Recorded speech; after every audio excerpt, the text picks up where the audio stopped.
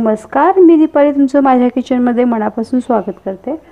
तर आता जन्माष्टमी जवळ येत आहे म्हणून आपण सुंठवडा कसं करायचं ते पाहणार आहोत. आणि सुंठवड्याची रेसिपी कशी करायची चला तर मग चालू करूया.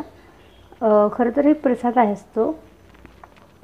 श्रीकृष्ण जन्माष्टमीला केली जाते. म्हणजे श्रीकृष्ण जन्माष्टमीला ही सुंठवडा केला जातो.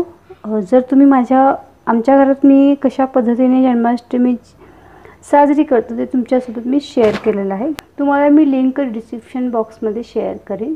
तो तुम्ही नक्कीच पहा. आणि चला तर मग चालू करूया. सुंठवडा कसं करतात ते पाहूया.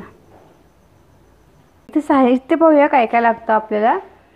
सुंठवडा बनवण्यासाठी. तर मी इथं घेतलेलं आहे जवळपास एक अर्धी वाटी खोबरं घेतलेलं आहे. त्याच्यानंतर सुंठ घेतलेलं आहे मी अशा पद्धतीने. तुम्हाला सुंठ वडाईमध्ये सुंठ थोडंसं जास्त असतं. म्हणून मी सुंठ घेतलेलं आहे. जवळपास दोन तुकडे मी सुंठ घेतलेलं आहे. त्याच्यानंतर पाच ते सहा मी वेलची घेतलेलं आहे.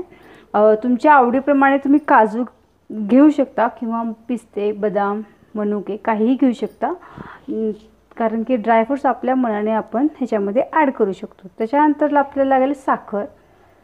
पिठी साखर पण यूज करू शकता. मी हे सगळं बारीक करणार आहे म्हणून पिठी साखरचा उपयोग करणार आहे साखरेचाच उपयोग करणार. आहे त्याच्यानंतर मी इथं खडी साखर घेतलेली आहे. आपल्याला खडी साखरची पावडर वगैरे काही करायची गरज नाही. आपण असंच खडी साखर घालणार आहे. तर सर्वप्रथम आपण हे मिक्सरमध्ये वाटून घेऊया. तर आपण सर्वप्रथम मिक्सरमध्ये हे बारीक कापलेले खोबरं घालून घेऊया. त्याच्यानंतर काजू. आणि हे वेलची घालणार आहोत. अखंडच घालूया कारण मिक्सरमध्ये ते बारीक होतं. आणि हे सुंठ जे आपण ते बारीक कापून घालणार आहोत. एखाद्या वेळेस ते लवकर बारीक नाही झाले तर म्हणून आपण अशा अशा पद्धतीने सुंठ कापून घालूया ह्याच्यामध्ये. आपण हे मिक्सरमधनं वाटून घेऊया. एकदम बारीक पावडर करून घेऊया आपण मिक्सरमधनं.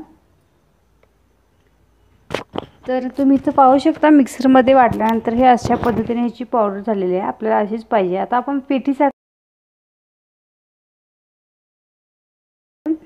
तर मी इथं साखर घालते इथं. साखर घातलेलं आहे. आता हे मिक्सरमधनं फिरवून घेऊया. आपण मिक्सरमधनं काढून पाहूया. एकदम छान अशी पावडर झालेली आहे. आणि आता आपण हे एका भांड्यामध्ये काढून घेऊया.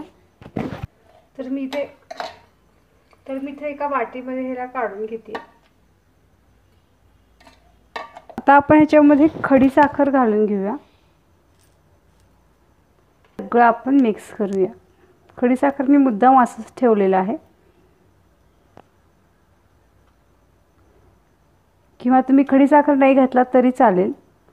पण प्रसादासाठी असतो म्हणून आपण इथे खडी साखर यूज केलेला आहे.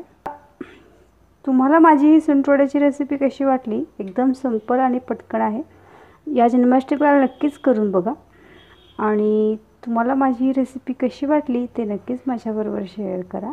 त्याचबरोबर माझ्या चॅनलला सबस्क्राईब करा लाईक करा आणि शेअर करा. तुम्ही माझा व्हिडिओ बघितल्याबद्दल तुम्हा सर्वांचे धन्यवाद.